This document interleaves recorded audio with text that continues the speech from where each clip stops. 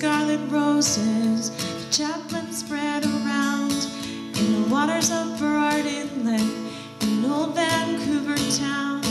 When the bridge came tumbling down, yeah, the bridge came tumbling down. Nineteen men were drowned in June of 1958 in old Vancouver town. There were 79 men working to build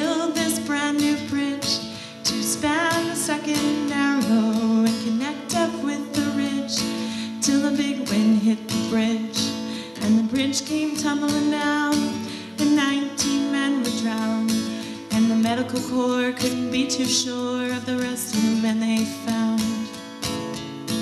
And among the twisted girder,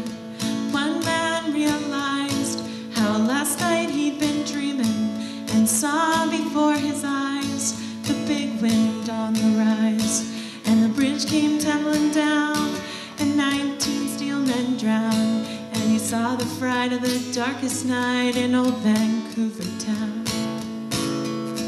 With the frogmen in the water, by the cutting torches glow, they fought to save the steel men from certain death below. And pain will never know, as the bridge came tumbling down, and 19 men were drowned, and the 60 more that came ashore, so thankful they were found.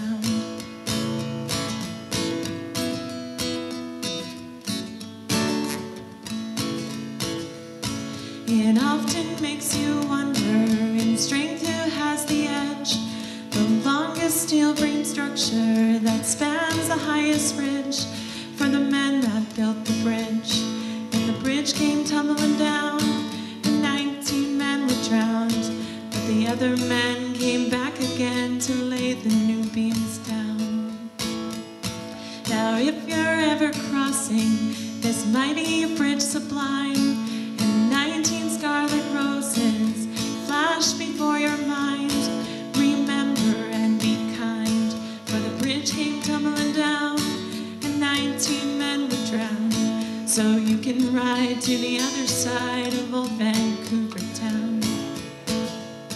So you could ride to the other side of old Vancouver town.